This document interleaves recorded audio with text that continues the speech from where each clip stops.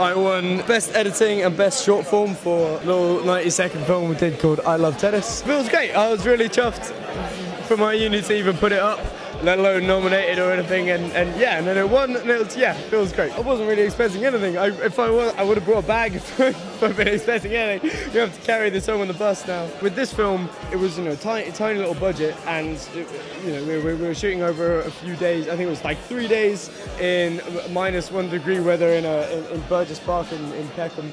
And, um, and then and then the actual editing was uh, over like a I think pretty much 12 hour period of just sitting down, hunking in my room and writing lots of stuff. I've got a few kind of writing projects in the works.